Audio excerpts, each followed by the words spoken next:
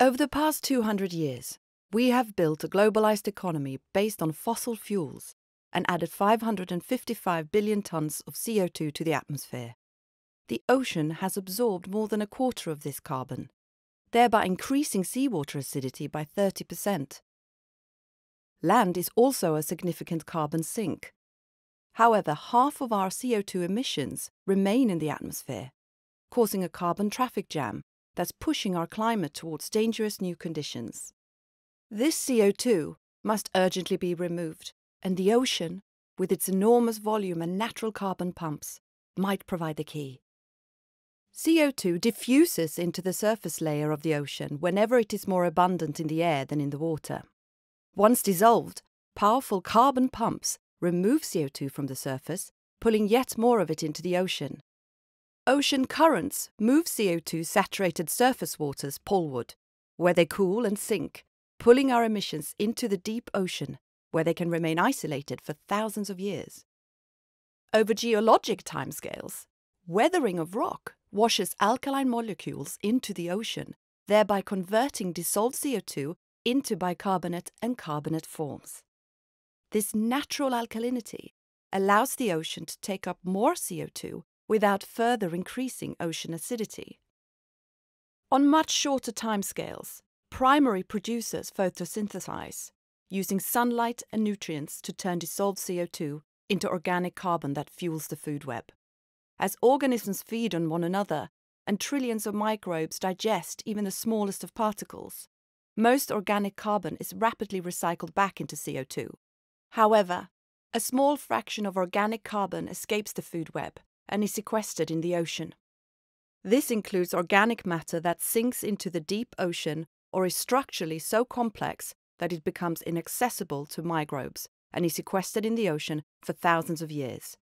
Organic carbon also gets trapped in coastal soils by salt marshes, mangrove forests, and seagrass meadows. Alone, the ocean's carbon pumps are too slow to reverse climate change. However, with research and innovation, we might be able to give these natural pumps a boost and avert the worst consequences of climate change. For example, large scale seaweed farming or ranching of free floating sargassum can remove the carbon stored in plant biomass by sinking it to the ocean floor or by locking it up in long lived bioproducts. In nutrient poor waters, the export of carbon to the deep ocean could be boosted by artificial fertilization of phytoplankton either directly with the help of ships or planes, or by artificial upwelling of deeper nutrient rich waters.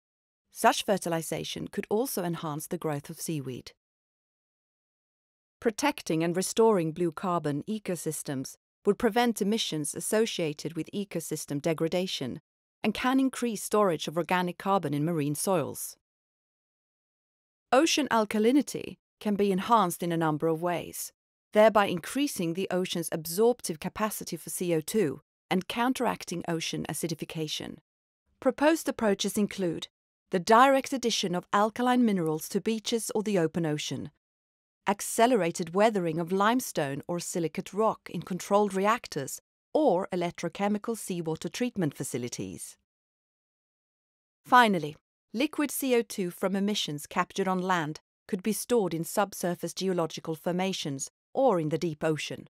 It has even been proposed to increase water density at the poles to accelerate the downward transport of CO2 to the deep ocean.